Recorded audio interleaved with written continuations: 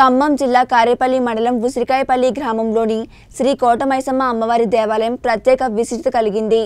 కొన్ని సంవత్సరాల క్రితం పర్స రామకృష్ణారావు పర్స దమయంతి దంపతులు ఈ ఆలయాన్ని నిర్మించారని దేవాలయం ప్రధాన అర్చకులు తెలిపారు. ముఖ్యంగా విజయదశమి రోజున నుండి ఐదు రోజుల పాటు ఇక్కడ జాతర నిర్వహించనున్నట్టు ఆయన తెలిపారు.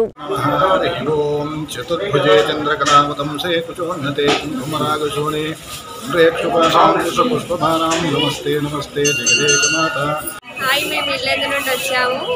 ఇక్కడ కోటమైసమ్మ టెంపుల్ ఉంటుంది. ఏమి కోరుకున్న కోరికలన్నీ తీరుస్తుంది. చాలా మహిమ గల టెంపుల్ ఈ అమ్మవారు.